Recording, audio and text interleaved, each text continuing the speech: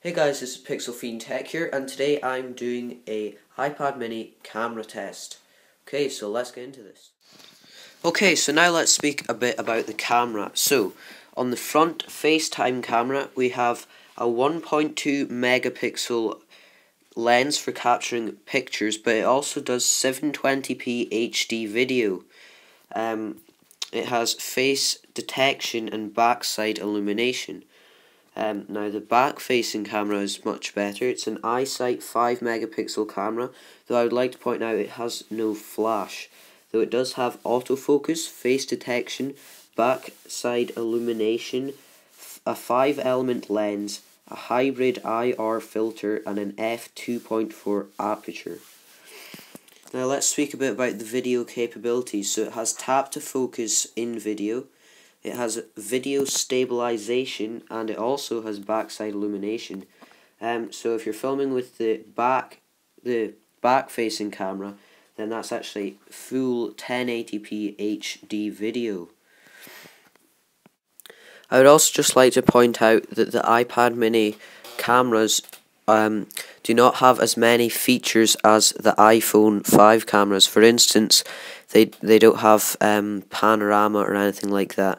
The only real features they have is tap to focus, zoom, and possibly image stabilization. Okay, so all of the pictures and video and also sound in this um, this little test is taken using the iPad mini cameras and it's also edited using the iMovies app that you can see on screen. Okay, so now I'm going to head downstairs and get into the main test. Okay guys, so what I'm going to do is head out into my garden, which you can see out there, still a bit of snow, and I'll just take some videos and pictures just to give you a little example using both front and back facing camera. I'll put little bit down at the bottom of the screen saying which camera I'm using.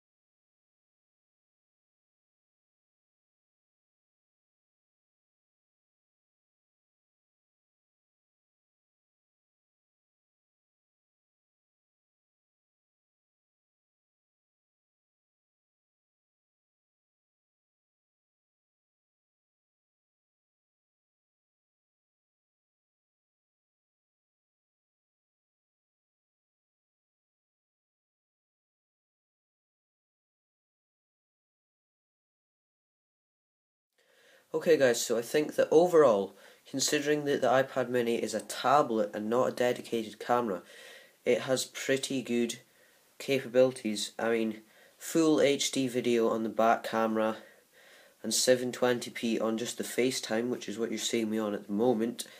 Um, okay, you can see grain in these pictures and the autofocus isn't the best and pictures look pretty terrible once you um, if you're even at half zoom, never mind full zoom. But for close-ups, videoing, stuff like that, I think it's actually a pretty good camera and it's better than a lot of the low-end point-and-shoot cameras that I've come across. So I think overall this isn't a feature that would make you want to buy the iPad mini by itself, but it certainly is a good thing to have. Um, Overall, I think the iPad mini camera performed well. Um, I I don't find that much use for it, though I might use it for vlogging if I decide to do that.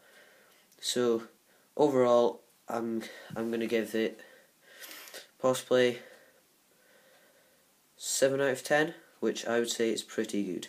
So guys, that's the end of the video. Thank you very much for watching. Please like and subscribe to my channel. Also, head over to Facebook and Twitter. My names are on screen and I'll also put links down in the description. If you've got any questions you would like to ask, please leave a comment or email me at the address on screen. Thanks for watching. See you.